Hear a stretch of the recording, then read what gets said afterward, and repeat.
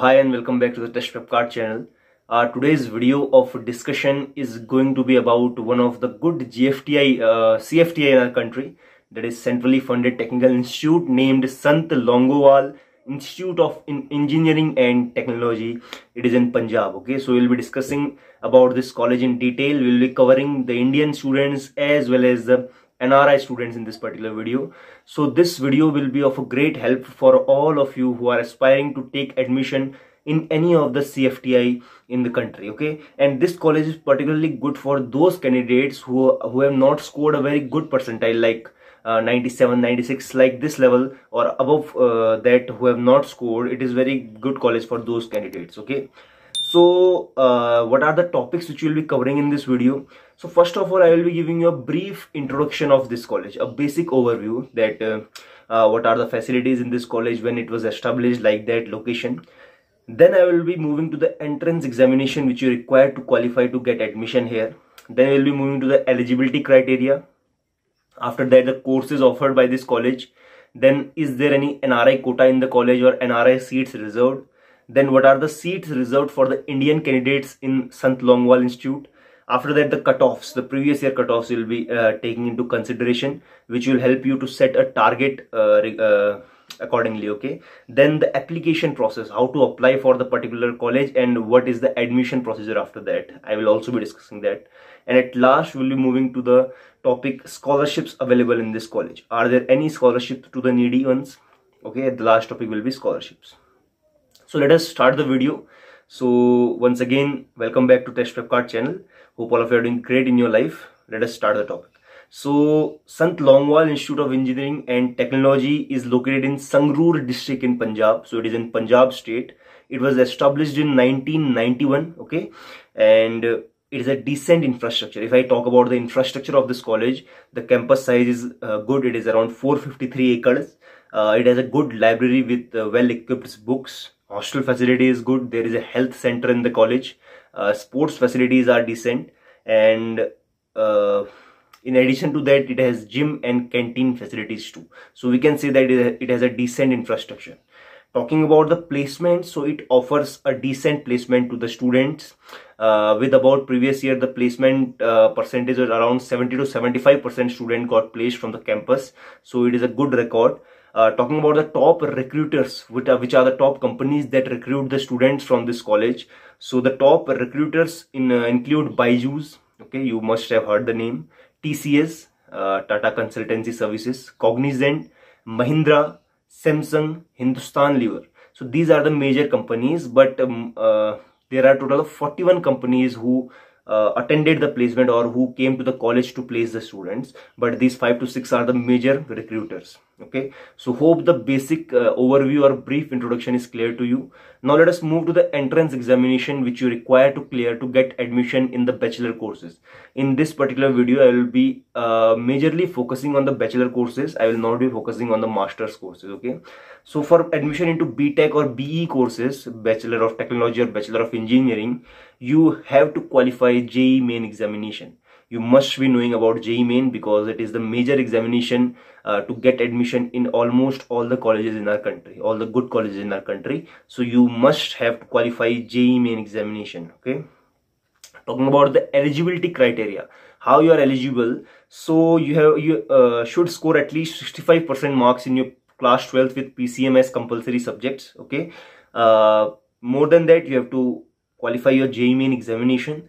Same goes for NRI candidates too, but NRI candidates have to uh, present some of the certificates at the time of counseling, which I tell in almost all the videos. So uh, what are those certificates you all uh, must be knowing uh, if you are watching my previous videos. So the certificates include your passport, uh, your class 10th and 12th mark sheet certificate issued by the Indian embassy wherever you are residing. So these some major certificates are required at the time of counseling and the eligibility is almost same other than that okay.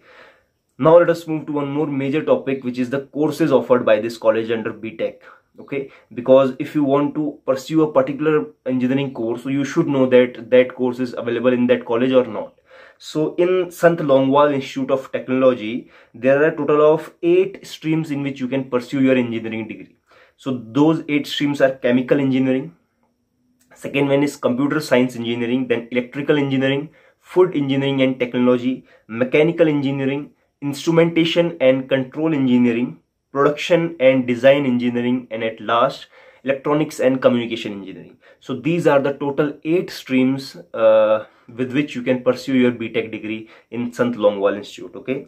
So hope the courses are clear. Now let us move to the NRI quota is there any NRI quota or NRI seats that are, that are reserved in this college? So yes, under DASA or CIWG category, there are seats reserved in this college for NRIs. So you have a good opportunity to get admission in this college. So how many seats are reserved? So there are a total of 37 seats which are specially reserved for the NRI candidates under DASA or CIWG category. Now what is the Mm, course wise seat distribution. So in chemical engineering there are five seats in computer science and electrical there are five seats means five in both. In instrumentation and control there are five seats in mechanical also there are five seats in food technology production design and electronics and communication there are four seats each in all these three courses. So there are almost four to five seats in each of the streams which are specially reserved for the nri candidates uh, I'm sorry, talking about the reservation for Indian candidates. What is the reservation criteria for if you are from India and want to apply for this college? So for SC candidates, there are 15% of seats reserved. For ST candidates, there are 7.5% seats reserved. For OBC means other backward classes, there are 27% uh, of seats reserved and for physically handicapped or physically disabled people there are 5% seats reserved. And most probably from this year 10% of seats will be reserved for EWS candidates also. Because there are many colleges where EWS category was not applied previous years. So from this year almost in all the colleges it has been made mandatory. So 10% you can consider for EWS 2 here okay? So this is all for the reservation for Indian candidates.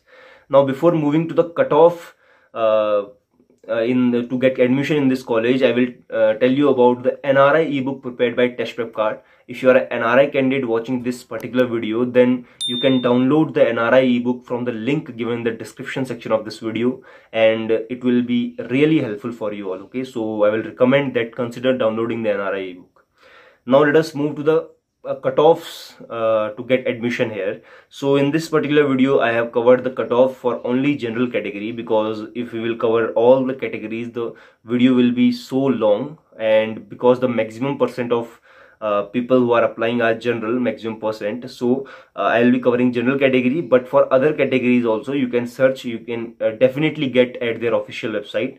So for general category if i tell about computer science engineering i have not taken the last round i have taken the second last round to, to get a safer side cutoff. So for computer science the last second last round cutoff was 57100 means which is around 94 to 95 percentile. So you can get computer science here if you're a general at 94 to 95 you did not uh, need to require like 97 98 okay?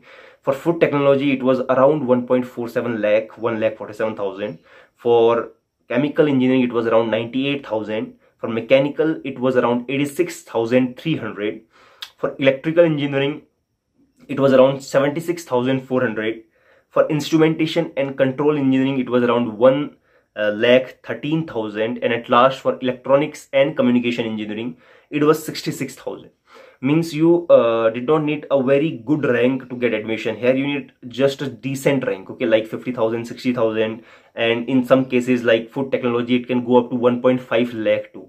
So you need a decent uh, rank to get admission. Here you need not uh, to score a very high rank okay. Now let us move to the uh, application process. So before moving up to application process for nri cutoffs you can uh, refer to the link given in the description section of this video okay? So let us move to the application process. So as i have told in the starting of the video that uh, the entrance examination which is required to uh, which you require to give is JEE main. So application process is same to be followed as in JEE main okay so let me tell you in detail whole application and admission process. So first of all you have to apply for JEE main examination. The forms are generally out in the month of September to October. Okay after applying for JEE main examination you have to just give the JEE main examination. You have to uh, get your result. Okay in that particular result you will have your all India rank as well as your category rank okay if you are from any reserved category then you will be applying for JOSA counseling okay? The counseling conducting body for all the CFTIs in India is also JOSA. So you have to apply for josa counseling. Uh, you have to fill this particular college as your choice and your branch choice also there. And if you will have a desired rank which is uh, enough to get admission here so you will be getting the admission in any of the round out of seven rounds and then you have to report to the college to confirm your seat. And you have to pay some normal fee to confirm your seat okay? So this is the whole application as well as admission process. I have told you it in detail because many students face difficulty in this particular process. Many students think that this process is very difficult but it is a it is a very easy process okay? So hope the application process is clear to you. Now let us move to the last topic of this particular video which is yet another important topic which is the scholarships available so there are not very much scholarship available in this particular college like in many government colleges but uh, there are two scholarships which are available. So let me tell you about those two scholarships. So the first scholarship is named post matric scholarship scheme. Okay? So what is there in this scholarship? So this scholarship is specially designed for the sc uh, candidates who are there from Punjab domicile means whose home state is Punjab and they are SC candidates. So their tuition fee is waived off. They do not have to pay, uh, uh, pay any tuition fee. So this is for the SC candidates from Punjab okay? The second scholarship scheme is merit cum means scholarship and this is specially designed for the minority cat, uh, categories okay? For minority cat uh, categories the fees will be paid by state government so you do not have to pay any fee. This is for the minority uh, candidates but the only uh, thing is that you should have at least 50% of marks in your class 12th and your family income family annual income should not exceed 2.5 lakh rupees. If your family income will exceed to this limit then you will not be getting any scholarship because you are not in need okay and talking about the female candidates so 30% scholarship in this particular category is particularly designed for the female candidates okay? So this is all for the scholarship available in Sant Longowal Institute of Engineering and Technology. So hope the video is clear to you. Hope you uh, got a clear idea about this college. And if you have any doubt regarding this college then you can freely comment down in comment section. Our team will reach you as soon as possible and if you liked the video consider liking it. Consider subscribing the channel for more such content from our site. Thanks a lot